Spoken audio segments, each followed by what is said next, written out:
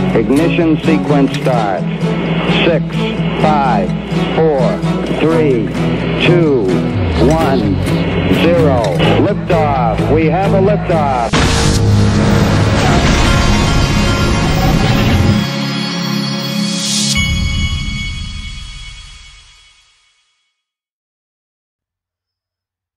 Hey everybody, this is the Digital Asset Investor, and the reason that I am behind schedule today is because many I'm contacted and I and there's a lot of people from different companies in digital assets that will talk to me from time to time. And today I had two very fascinating conversations, and I'm going to tell you about a couple of those here in a minute. I think you'll find it'll it's a real eye opener. Uh, but also I've been getting ready because today um, I'm going to be cooking barbecue chicken on the grill this evening, and I've been I had to get do some prep work, but I'm I've I found barbecue sauce I'm using. I'm I'm thinking about going and trying a new barbecue sauce, and, and I might do that after I do this video. Go get a new test out a new barbecue sauce, but I'm not. That's kind of risky, so we'll see. But for those of you who haven't seen it, you can go and you can I, am going to let you watch me i do these short videos. Youtube has these youtube stories now that you can see on your phone and you'll see these little short videos where i put music and uh, different pictures and, and, video on and i'm going to uh, show you the barbecue chicken that i'm cooking tonight. I'm going to do that this evening. So there you have it. Now this first tweet caught my attention. This is from cstat um, it, it, there's two things that caught my attention. Um, the first is triple ripple ice cream cone. Right here it says triple ripple ice cream cone. I don't remember ever having that. But the other thing that he's retweeting here is prices at McDonald's in 1971. We need to end this fiat currency system. And I've said for I've said many times on this channel is that a lie has been sold to you, and that is that your money is supposed to devalue over time, and that is a lie. I, it, I should not have paid a dollar and fifty cent when I was a kid at a movie theater, now be paying 20 something dollars for a movie ticket. That is ridiculous. It doesn't have to be that way. I believe digital assets in limited amount are one of the solutions to this problem. But this, it, we are, our money is not supposed to become worthless over time. That is not true. It's been sold to this world and it's not true. That is a central bank lie. And that's just the fact, Jack. All right. I haven't talked about Sologenic lately, but I saw this and wanted to uh, mention it.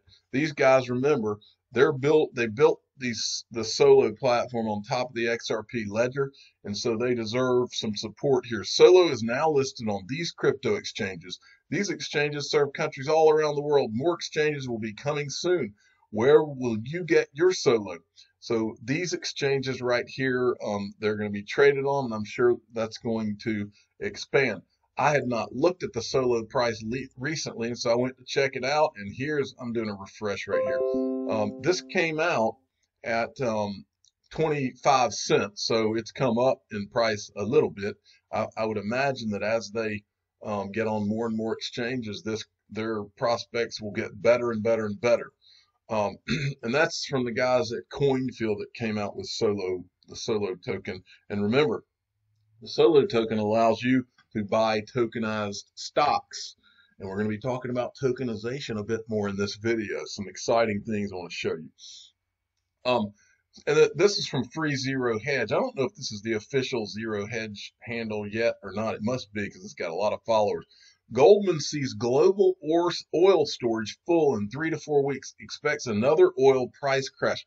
This video below this was very eye opening. These are tankers, crude measures. Dozens of tankers wait to unload oil. That right there, folks, spells disaster when I look at it. It looks like a nightmare. The idea that all these ship tankers are just sitting there. I mean, aren't we? We're not entering hurricane season yet, but I mean, just seeing that is pretty creepy. We're, we're in some we're in some crazy times right now, folks. Cryptopolis um, mortgage bailout balloons by half a million more loans in one week.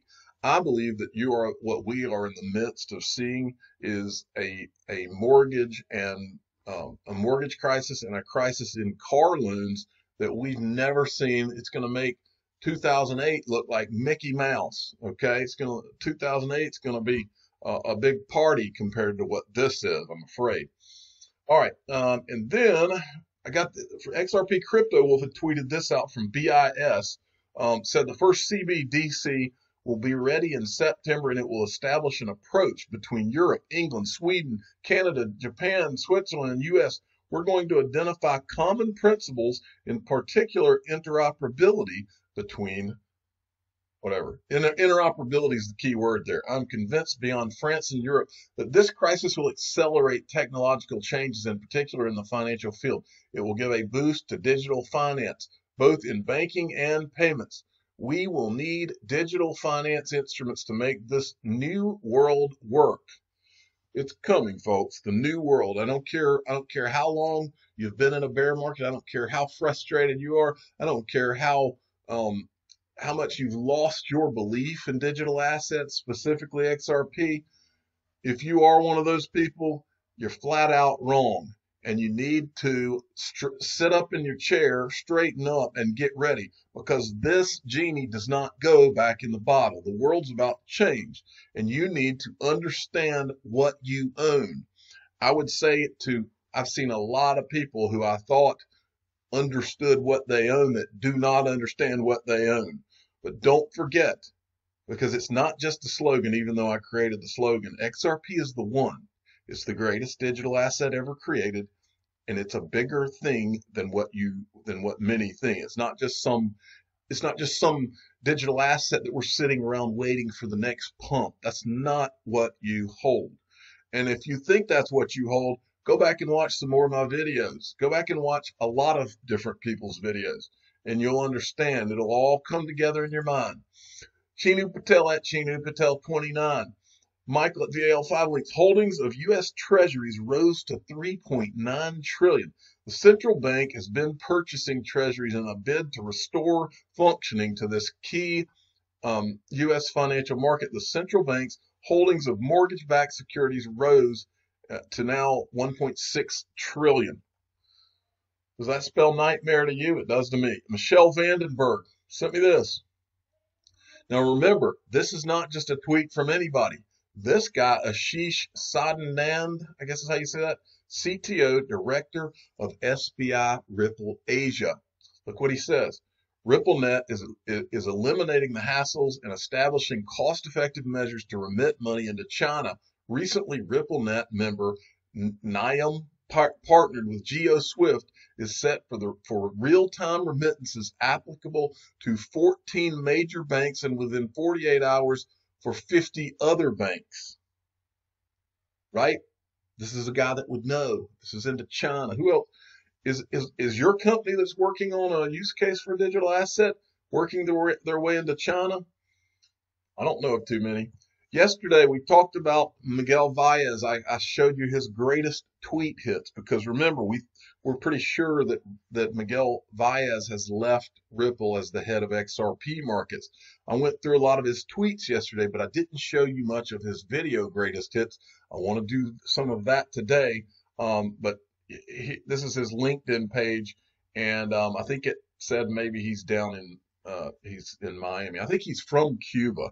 But anyway, I went to Ripple's site to see if they're hiring any anybody at their New York office where he was, and it turns out they're not hiring anybody up there. So the question, I guess, is do they need not need a head of XRP markets anymore? And I want to make a I want to no pun intended, I want to float an idea out to you. Is it possible that and this is how I think of it in my mind, because we always knew that it was eventually going to happen. Is it possible that we should compare the XRP ledger to a raft that is being pushed out to sea right now? Because the XRP ledger, remember, it was all they have been working on a, and I think David Schwartz said it maybe in 2018 or 19 that that was the year they were going to focus on on further decentralization. So at some point, and this is how I pictured in my mind, at some point, the XRP ledger is on one of those round rafts like the one from the movie Castaway that he got in when he got off the plane. It's in this round raft, and Ripple I picture Ripple pushing this XRP ledger out into the ocean, into the ocean of the world. And that is when XRP from then on is on its own. And then all of a sudden, we start seeing nodes light up like a Christmas tree, whether it's a node at the SEC, at Standard Chartered, BlackRock, BNY Mellon. It could be the IMF, the World Bank. It could be central banks around the world. It could be Duke University or Oxford University. That's where I see all this going. And that's why I think Miguel Vias left. I think he had a mission accomplished um, situation where it was time to go. And he's probably going to go um, consult and relax and be able to do what he wants to do. So good for him. Thanks for your work, Miguel Vias. But while we're here, I wanted to show you some of Miguel Vias's greatest hits in video uh, before we leave this. The more liquidity, the more utility. In theory, over time, the more valuable XRP will be. Because the more liquidity, the more utility. In theory, over time, the more valuable XRP will be. All right, more more liquidity, more utility, the, the higher the value of XRP over time. That's why we're all here, is that we all have believed this and I believe it more than ever today. Here's another one. This is from Stephen uh, Bull from the DIA. And to distribute the rest of, the XRP then? Yeah, no, that's that's a good question, Mahir. And I, I don't necessarily know that we'll ever distribute all of it. In my mind's eye, there's a possibility where, you know, we end up more of a lending kind of, uh, you know, more of a lending lender of last resort capacity, maybe. Uh, I think that would be a little strange for a software company, and maybe some things would have to to change structurally. Maybe we have to have a different organization or something. Who knows, right? Um, but as these capital markets develop, as liquidity develops, there are going to be folks who, you know, if they want to provide liquidity in the asset, don't want to necessarily own the asset because that puts them in harm's way for uh, price movements. So if you can borrow the asset and create liquidity that way, it's actually a much more efficient way to be part of the uh, of the liquidity mechanism it's how traditional capital markets work. I mean, my first job on a trading desk was managing the repo book, the overnight Tom Next kind of liquidity provision that every day we had to roll. Um, there's nothing like that in digital assets. Um, so part, partly because they, they, the transfers happen instantaneously, but also partly because it just hasn't developed. And it, it, one of my longer term goals after I get the ecosystem built out, after I get payments running through there, as I start to merge or try to merge the two worlds, the digital asset markets and the traditional capital markets, as I try to do that, I think one of the levers that we'll be able to pull or, or pull will be lending. And as a result, I, I don't necessarily know that we'll, I mean, we'll have to, we'll need some XRP, right, in order to do that. Um, so I don't, I don't, I guess a long-winded way of saying, I'm not sure we'll ever get rid of all of it and sort of let it all out into the wild um, partly because there is some utility for us or maybe some other you know organization having it to make sure that the markets are always liquid. He he made a point that uh, I think that a lot of you holders of XRP, large holders, and when I say large, I would say a hundred thousand plus. Remember, he said it in the prior video. As the liquidity and the utility increases, the price is going to increase as well. Now, a lot of you you've always thought in terms of selling your XRP when it hits X price. I don't think a lot of you that are larger holders out there understand that you could very well be holding one of the greatest assets to hold in the history of the world. If you've got if you've only got 100 billion XRP, you could end up being a lender of your XRP and be paid to lend your XRP in essence to the world's financial system and be paid to do it. Uh, that could you could create a literal dynasty and, and almost be like a bank as your life goes forward. That is the type of opportunity that this is. Now let's go on and I want to show you a couple more clips from Miguel Vias. You can learn a lot from this guy. Because there is no recourse if your assets disappear uh, from your wallets, um, is insurance, right? If somebody's willing to insure those losses, then that can get larger financial institutions, I think, more comfortable with the idea of of of, uh, of custodying the assets. I think also it's interesting. You know, there are folks looking at this, right? I mean, there's you know, Gemini custodies and uh, ItBit custodies and uh, Kingdom Trust custodies. Um, so it's not like no one is doing it, right? But we've yet to have kind of you know Goldman Sachs or Morgan Stanley or State Street, uh, you know, uh, Boney. Uh, the, these guys have not jumped in yet, even though that you you hear whispers and rumors that people are looking. Um, but one of the so one of my jobs is to again create this liquidity pool for XRP and build a big capital market around it. Because without liquidity, we can't fund. You know, we can't create the liquidity that you need for funding payments through some of the some of the products that we that we're building. But even if you had um, and I know it's all kind of chicken and egg, but even if you had the prime brokerage model and you wanted to offer leverage to your clients, that means that you now have to go out there and source a bunch of Bitcoin or Ether or XRP, and that's not easy to do, right? Uh, I think one of the advantages that we have as a company is the fact that we sit on 60 billion XRP. So the day that Goldman wants to open up their trading desk, mm-hmm. they don't have to go find, you know, XRP. They just give me a call um, which is nice. you know, I think it's. and you know, interest rates in this market are pretty expensive, so it's a, it's a nice recurring revenue stream one day. Um, so I, I, I, you know, that, but that is a problem. That needs to be solved somehow, right? Because you can't just have one person doing it. Because truthfully, what happens is that Goldman borrows from Morgan, that borrows from Deutsche, that borrows from Credit Suisse, and it's a little bit of ring around the rosy, and they all end up borrowing from a central bank. Um, so, um, we are using it for investments, right? So we are funding other companies with our XRP. You'll you'll hear some stuff about that as well. Um, and then, but really, we we don't want to get rid of all of it um, because we do feel like being maybe a, a, primary lender in the market will be helpful as we try to build liquidity in the space. So, you know, the idea that uh, we'll be better off with no XRP, I think, is uh, is not one that we're going to Right. So so anyway, you can see where all this is going. You can imagine a lot of these companies being lent XRP and then lending it out themselves. You're going to see a lot of this type of thing. Um, I'm not going to play you these other two videos. I, am in another video. I don't want to make this one too long, but in another video, I'll do that. Now, I want to show you the first person that I had a conversation with today. Um, this is um, a guy, he runs a company called uh, Reinno. He calls it Reinno.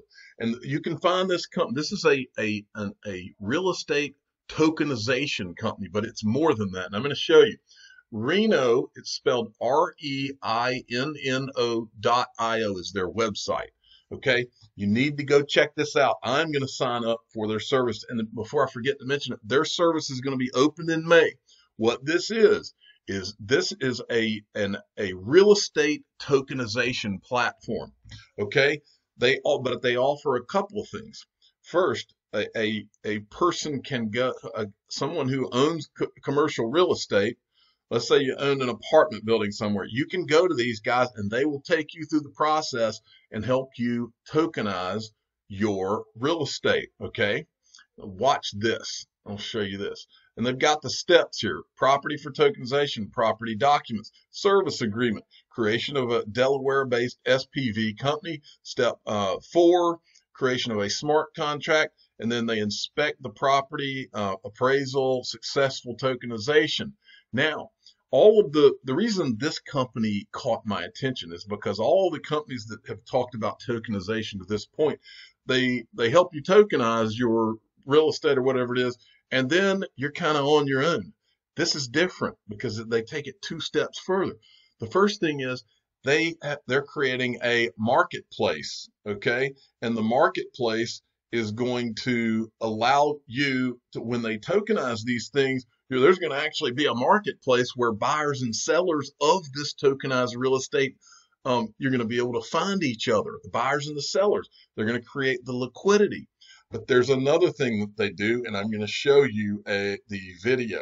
The other thing is once you own these tokenized assets, they you can be lent, uh, you can borrow money based on your tokens. Watch this. Reinno, disrupting commercial real estate lending. A new instant, flexible, and paperless lending model. Are you an investor looking for an innovative commercial real estate lending solution? Reinno offers instant loans backed by tokenized real estate, allowing you to unlock its full potential. Reinno loans give you access to cash, anytime, anywhere. Just log into the platform. Choose the amount of tokens you would like to use as collateral. Select the term length, IR and LTV ratio. Review the payment schedule. Choose your preferred payout method. Get your money in a blink of an eye. No hassle, paperwork, or waiting in lines. Your access to finance is just a few clicks away. With Reinno.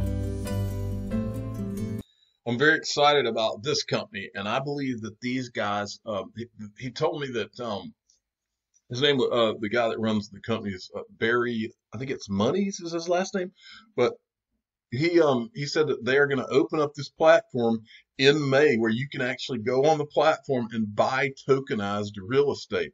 And he had described at least one or two properties. I think was one in Connecticut and one in maybe he said South Beach. I think. Um, there, but people are going to begin tokenizing their real estate, and that is exciting. Now I'm going to show you something else that's really exciting. Um, I was contacted by this lady right here. Her name is B. O'Carroll. And I was contacting at first, I was like, okay, who is this person? And then I got, I, I looked her up and I realized that she was at, um, she was one of the people at the over the counter trading desk at Circle. Remember the three core companies in all of this, the, in my opinion, the three big companies in digital assets is Circle, Coinbase, and Ripple. Well, she was at the OTC desk at um, at Circle, and then she left with some of her um, colleagues here who are also they were also at Circle, and I believe this guy Todd was at Circle and at Poloniex at one time, and then the CEO is this Yin-Feng Shao guy.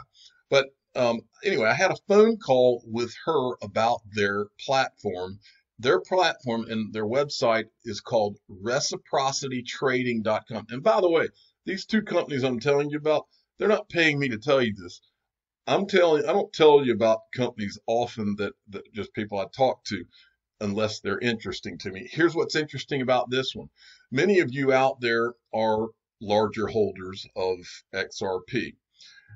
When it, when it comes time to sell, many of you may have very large sums of, of money that you're dealing with platforms like this are a way for for bigger holders to to liquidate their holdings and and get into fiat or whatever they're trying to do in a in a um these people have access to a lot you know institutions and wealthy individuals. So you can and and it's it's not done by you going like the way you go into coinbase and you put in a seller.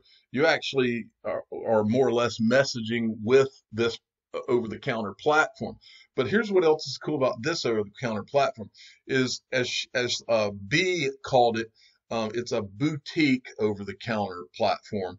And what that means is that they have opened this one up. You can individuals more or less have a better shot at being able to get on this platform with some restrictions. And you need to know about the restrictions. Their minimum trade size is 10K for corporate ent- entities and 50K for individuals. These are all the digital currencies that they support. You'll notice that XRP is there. There's Stellar, you know, the main stuff, Ethereum, Bitcoin.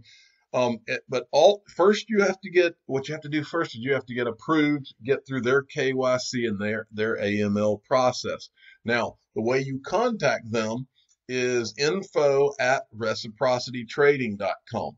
Uh, and and so you need if you are a person who is one of the larger holders and you see a situation that, or if you're one of those people who is worried that that in a scenario where you were doing a large sale that you there's a question in your mind as to whether you could make that happen through a Coinbase Pro or as to whether they would have enough liquidity when in a place like that when it comes time then you need to contact these people. This is this OTC platform is the closest over the counter platform that I've seen that caters to individuals as well as as institutions. And for that reason it's worthy of you looking into.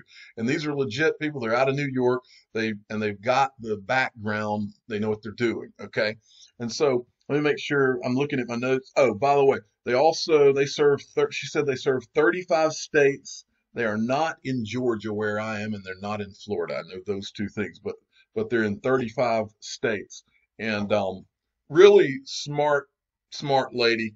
And um, so anyway, check it out. It's recipro- R E C I P R O C I T Y trading.com.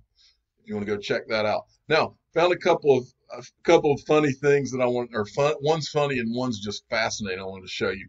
Um, the first is from Ticket Attorney. We have not talked about John McAfee lately.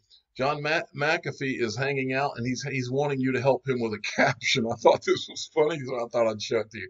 Looking for a caption must be suit- suitable for a right-wing fundamental Christian publication to be used in a children's Bible study class.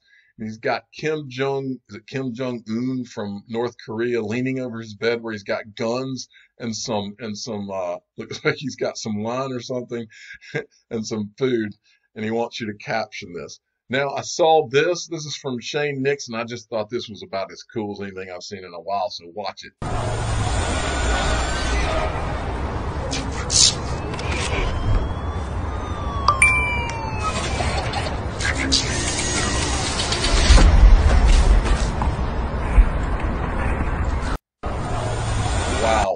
So that's where the world's going. That reminds me of the movie, the Disney movie WALL-E that my son used to make me watch over and over and over. I'm the digital asset investor. I'm not an investment advisor. This is for entertainment purposes only. Please subscribe, hit the like button, tell your friends and family that we are moving into a digital asset and WALL-E world, it looks like. Thanks for listening.